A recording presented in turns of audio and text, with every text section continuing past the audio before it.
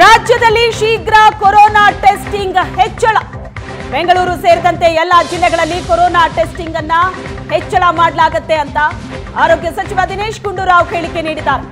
Corona ಹರಡುವಿಕೆ ತಡೆಗೆ testing ಅನ್ನ ಹೆಚ್ಚಿಸಲಾಗುತ್ತೆ. ಟೆಸ್ಟಿಂಗ್ ಹೆಚ್ಚಳ ಮಾಡೋದು ಒಂದೇ ಮಾರ್ಗ.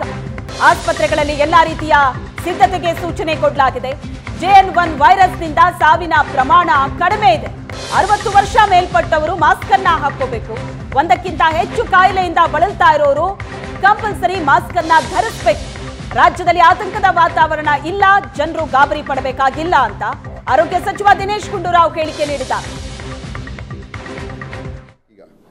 ಅದು ಮುಖ್ಯ ಆಗಿದೆ ಆದ್ದರಿಂದ ಇವತ್ತು ಅಧಿಕಾರಿಗಳ ಸಭೆಯಲ್ಲೂ ಕೂಡ ಜಿಲ್ಲಾಧಿಕಾರಿಗಳ, ಜಿಲ್ಲಾ ಆರೋಗ್ಯ ಅಧಿಕಾರಿಗಳ ಸಭೆಯಲ್ಲಿ ಎಲ್ಲರೂ ಎಲ್ಲ ಜ ಆಸ್ಪತ್ರೆಗಳಲ್ಲಿ ಖಾಸಗಿ ಮತ್ತು ಗೌರ್ಮೆಂಟ್ ಎಲ್ಲ ಕಡೆ ಹೆಚ್ಚು ನಾವು Covid ಟೆಸ್ಟ್ಗಳನ್ನು, R T P C R test, R E T rapid anti antigen ಟೆಸ್ಟ್ಗಳು, ಇದೆಲ್ಲವನ್ನು ಕೂಡ ಹೆಚ್ಚು ಮಾಡೋದಕ್ಕೆ ಹೇಳ್ತಾ ಇದ್ದೀವಿ. ಅದು ಮಾಡಿದಾಗಲೇ ನಮ್ಗೆ ಗೊತ್ತಾಗೋದು. ಒಂದು ಎರಡು ದಿವಸದಲ್ಲಿ ಅವರೆಲ್ಲ ಪ್ರೊಕ್ಯೂರ್ ಮಾಡಿ ಶುರು ಮಾಡ್ತಾರೆ. ಸೊ ಆವಾಗ ನಮಗೆ ನಿಜವಾದಂಥ ಸ್ಥಿತಿಗತಿ ಏನು ಅಂತ ಗೊತ್ತಾಗ್ತದೆ. ಕೋವಿಡ್ ಎಷ್ಟು ಮಟ್ಟಿಗೆ ಬರ್ತಾ ಇದೆ ಎಷ್ಟು ಜನರಿಗೆ ಹೆಚ್ಚಾಗ್ತಾ ಉಂಟಾ ಇಲ್ವಾ, ಇದನ್ನು ನಾವು ಹೆಚ್ಚು ಟೆಸ್ಟ್ ಮಾಡಿದಾಗ ಇನ್ನೂ ಹೆಚ್ಚು ನಮಗೆ ಮಾಹಿತಿ ಸಿಗ್ತದೆ. ಮಾಡಬೇಕೀಗ. ಈ ಬಗ್ಗೆ ಹೆಚ್ಚಿನ ಡೀಟೇಲ್ಸ್ ಅನ್ನ ಕೊಡ್ತಾರೆ ನಮ್ಮ ಪ್ರತಿನಿಧಿ ಮಮತಾ ಈಗ ಸಂಪರ್ಕದಲ್ಲಿದ್ದಾರೆ. ಮಮತಾ ಕೋವಿಡ್ನ ಆತಂಕ ಜೋರಾಗಿದೆ ಈಗ ಬಟ್ ಆರಂಭದಲ್ಲೇ ಅದನ್ನ ತಡೆಯೋದಕ್ಕೆ ಈಗ ಸರ್ಕಾರ ಮಹತ್ವದ ಹೆಜ್ಜೆ ಇಡ್ತಾ ಇದೆ. ಈಗ ಗೈಡ್ಲೈನ್ಸ್ ಬಗ್ಗೆ ಹೇಳ್ತಾ ಇದ್ರು ಆರೋಗ್ಯ ಸಚಿವರು.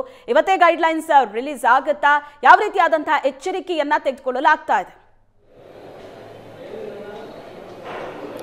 ಶ್ವೇತಾ ಹೌದು ಕೇರಳದಲ್ಲಿ ಕೋವಿಡ್ ಹೆಚ್ಚಳವಾಗ್ತಾ ಇದ್ದ ಹಾಗೆ ಕರ್ನಾಟಕದಲ್ಲೂ ಕೂಡ ಇದರ ಭೀತಿ ಜಾಸ್ತಿ ಆಗಿರುವಂಥದ್ದು. ಅದರ ನಿಟ್ಟಿನಲ್ಲಿ ಈಗಾಗಲೇ ಒಂದು ಸಭೆಯನ್ನು ಕೂಡ ನಡೆಸಲಾಗಿತ್ತು. ಅಂದರೆ ಭಾನುವಾರ ಟ್ಯಾಕ್ ಇಂದ ಒಂದು ಉನ್ನತ ಮಟ್ಟದ ಸಭೆಯನ್ನು ಕೂಡ ನಡೆಸಲಾಗಿತ್ತು. ಈ ಸಭೆಯಲ್ಲಿ ಏನೇನು ಮಾಡಬೇಕು ಕೋವಿಡ್ ಬರುವಂತಹ ಸಾಧ್ಯತೆ ಹೆಚ್ಚಾಗಿರುವಂಥದ್ದು, ಹಾಗಾಗಿ ಅದನ್ನು ಕಟ್ಟಿ ಹಾಕೋದಕ್ಕೆ ಯಾವ ರೀತಿಯ ಸಿದ್ಧತೆಯನ್ನು ಮಾಡ್ಕೋಬೇಕು ಮತ್ತು ಮಾರ್ಗದರ್ಶನವನ್ನು ಕೂಡ ಈಗಾಗಲೇ ಸರ್ಕಾರಕ್ಕೆ ನೀಡಿರುವಂಥದ್ದು. ಅಂದರೆ ಡಾಕ್ಟರ್ ರವಿ ಅವರ ನೇತೃತ್ವದಲ್ಲಿ ಈ ಸಭೆಯನ್ನು ನಡೆಸಿ ಆ ಮೂಲಕ ಒಂದಷ್ಟು ಮಾರ್ಗದರ್ಶನವನ್ನು ನೀಡಲಾಗಿದೆ. ಅದರ ಮೂಲಕ ಇವತ್ತು ಮತ್ತೊಂದು ಸುತ್ತಿನ ಸಭೆ ಕೂಡ ನಡೆಯಲಿದೆ.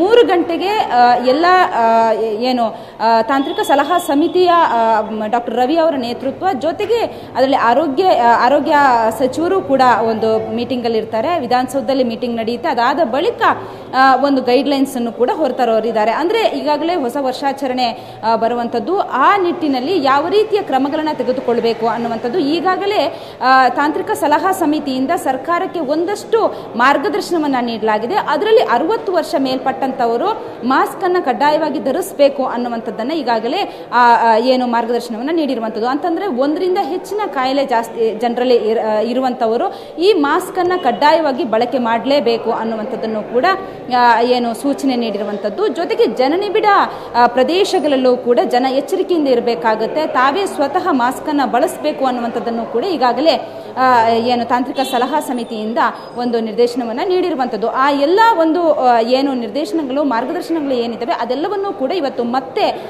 ಮೂರು ಗಂಟೆಗೆ ನಡೆಯುವಂತಹ ಸಭೆಯಲ್ಲಿ ಇನ್ನೊಂದು ಸುತ್ತಿನಲ್ಲಿ ಚರ್ಚೆ ಮಾಡಲಾಗುತ್ತೆ. ಯಾವ ರೀತಿ ಕ್ರಮಗಳನ್ನ ತೆಗೆದುಕೊಳ್ಬೇಕು ಮತ್ತೆ ಸರ್ಕಾರಿ ಆಸ್ಪತ್ರೆಗಳಲ್ಲಿ ಮುಖ್ಯವಾಗಿ ನಾವು ಐ ಎಲ್ ಐ ಸ್ಯಾರಿ ಪೇಷಂಟ್ಗಳು ಏನಿದ್ದಾರೆ ಅವರ ಬಗ್ಗೆ ಹೆಚ್ಚಿನ ಕಾಳಜಿಯನ್ನು ವಹಿಸಬೇಕು.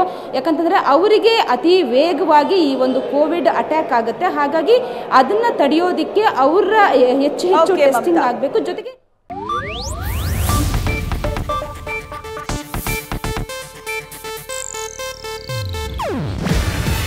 ಇದು ಏಷ್ಯಾನೆಟ್ ನ್ಯೂಸ್ ನೆಟ್ವರ್ಕ್ ಪ್ರಸ್ತುತಿ. ನೀವು ನೋಡ್ತಿದ್ದೀರಾ ಏಷ್ಯಾ ನೆಟ್ ಸುವರ್ಣ ನ್ಯೂಸ್.